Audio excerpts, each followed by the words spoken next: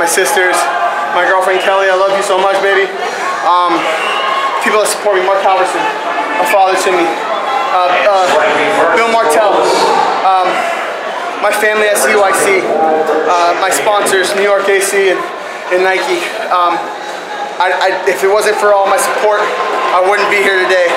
I love this sport so much. I give it every bit of me. Um, Coon wrestled his ass off out there. Gave me a great fight. Uh, proud of that kid. You know, uh, I just wasn't gonna let this one go. This is one for me. Robby, you've been at this for 24 years. How do you keep your fire burning? This right here. What happened today? What happened today? That's what what gets a fire. That was amazing. I love it. And uh, this is what I'm here for, the Olympics. Now I want to go for the gold. That's what I'm going for. At the World Championships, you were just mere seconds away from being a bronze medalist. What's going to have to happen for, for that for that loss to turn into a victory? Pushes me. Gave me fire. Gave me everything I wanted. I mean, sorry guys, Ramos just lost. but it was uh, it was uh, it was awesome. And um, that's what keeps it going. I want I want to be on top of that podium now. We got a lot of work to do, and I just can't wait to do it. Talk about, and you- mentioned it out there, right? I love this. I'm enjoying it. Not everybody enjoys it. And not only do you enjoy the process, you enjoy the crowd, you enjoy like the, the show. Everything. You got to. If you don't, you're not. You're not gonna. You're not gonna love it, and you gotta love it. I mean, you gotta be a part of it, and you gotta dig down deep. You gotta love every moment of, it, of the grind, of everything. If you don't love every moment of this, get out of the sport because this is what's great right here.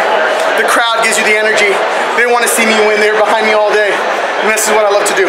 You know, out there in the match, a lot of Greco-Roman guys are very conservative. You go out there, you're not afraid to try some big. I let it fly. I let it fly. I, I've always said it. I love, I love throwing people on their head.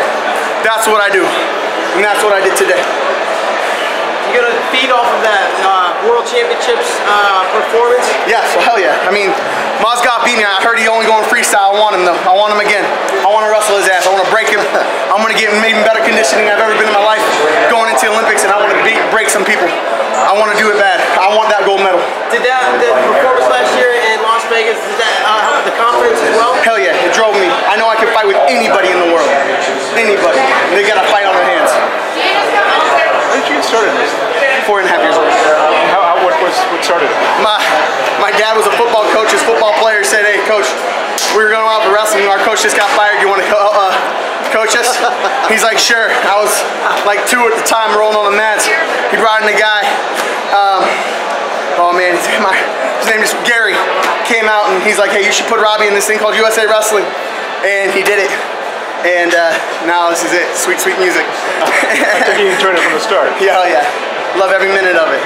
Every second of my career I love. Uh, I had a hard time at 96 kilos, but I'm ready for it now at heavyweight. And I can't wait to go. What is it you love about throwing people on their heads? It's fun. Plain and simple, fun. Fun equals throwing people on their head. yeah, Think that could be your slogan on a T-shirt? I should be, right? Just want to say you're welcome for the help I gave you. Thank you, yes. Hey, I appreciate it. Thank you so